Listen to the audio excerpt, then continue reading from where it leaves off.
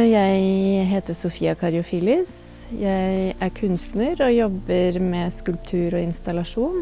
Og jeg jobber hovedsakelig i metall, i korpusteknikk. Og dette er fjerde gang jeg deltar på årsutstillingen.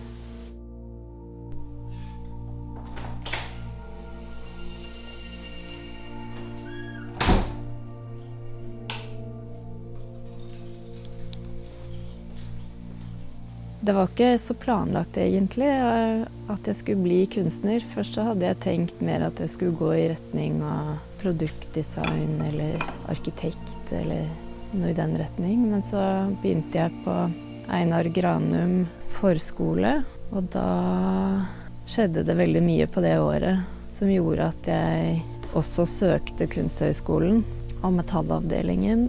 Og når jeg kom inn der, så kjente jeg at, eh, at det nok var det som kanskje var aller mest riktig for meg.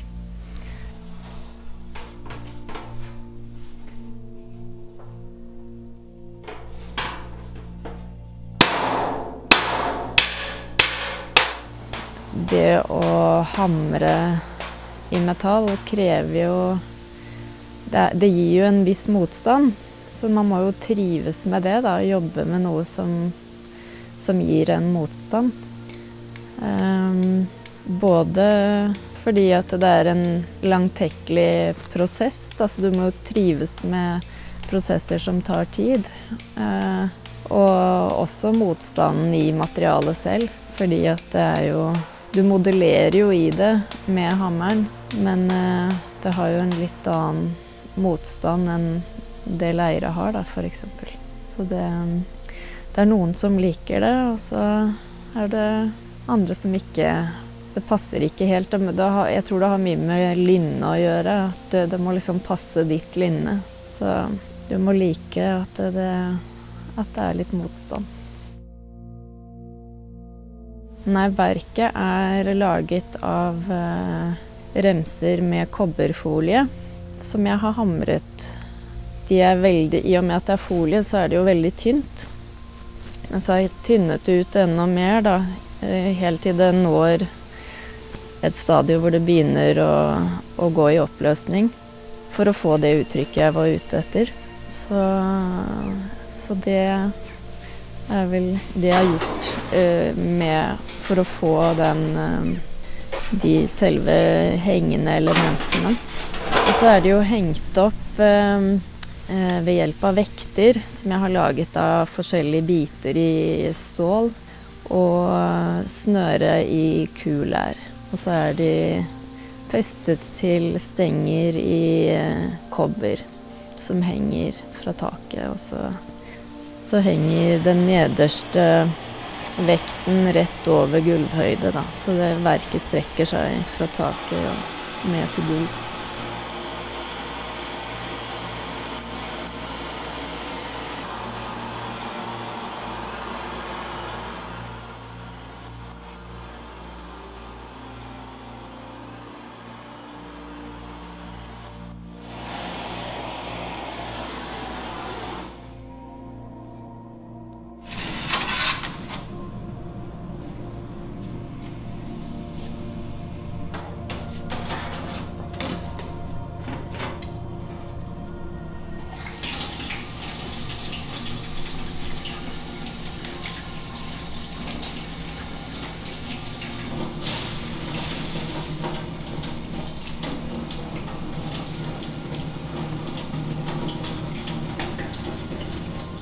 Nei, årsutstillingen er jo den største utstillingen innen den materialbaserte kunsten hvert år. Så det er klart at det Jeg syns jo at det er noe som er viktig å søke.